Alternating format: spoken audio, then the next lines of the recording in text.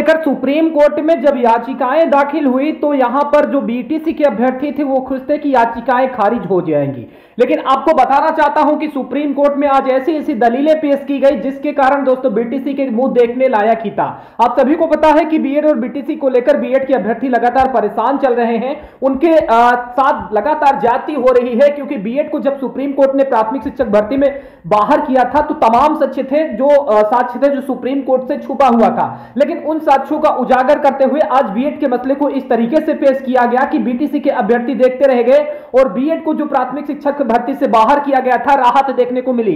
Channel के साथ नए जुड़े हैं तो प्लीज़ चैनल को सब्सक्राइब करके बेल आइकन को दबा देना, जिससे आने वाली सभी वीडियोस को नोटिफिकेशन आप तक समय समय तक पहुँचता रहे, ठीक है? संक्षिप्त विस्तार से चर्चा करेंगे कि बीएड और बीटीसी मामले के मसले को सुनवाई को लेकर सुप्रीम कोर्ट में जो याचिका पड़ी हुई थी, उस याचिका में क्या कहा जा रहा है और क्या सुप्रीम कोर्ट जजमेंट देने वाला है, ठीक है? आप सभी को पता है कि बीएड और बीटीसी को लेकर आज यहाँ पर सुनवाई थी और बीएड के जो पक्ष थे, इस बार काफ़ी मज़बूत दिखा, काफ़ी सारी एविडेंस और काफ़ी सारे साक्ष्यों के साथ बीएड की प्रस्तुति की गई। सबसे पहला मेन पॉइंट यहाँ पर यह रखा गया एनसीटी के गजट। एनसीटी का जो गजट आया था जून 2018 का, उसमें साफ़ साफ़ बीएड को वरीयता दी गई थी। उसके पर दोस्तों, वहाँ पर जो बीएड के पक्ष थे, वकील थे, उनका कहना था, इसमें जो है बीएड के अभ्यर्थियों की कोई गलती नहीं है और माननीय सुप्रीम कोर्ट को इस जो पॉइंट पर संज्ञान लेना होगा और तमाम प्रकार की धाराएँ गिनाई गई, जिसमें दोस्तों यहाँ पर अभ्यर्थियों के निजता का और अधिकार का हनन करके दोस्तों यहाँ पर बीएड के मसले को पेश किया गया।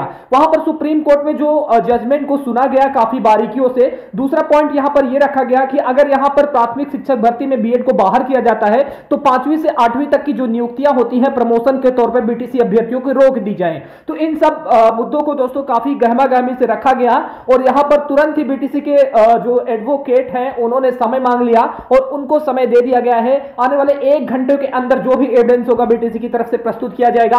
जो भी खबर होगी हम आपको चैनल के माध्यम से प्रोवाइड करते रहेंगे। आप लोग चैनल को सब्सक्राइब करके बेल आइकन को दबा देना, जिससे आने वाले सभी वीडियोस का नोटिफिकेशन आप तक समय तक पहुँचता रहे। बीएड के अभ्यर्थी हैं तो प्लीज़ वीडियो को लाइक कर देना। जय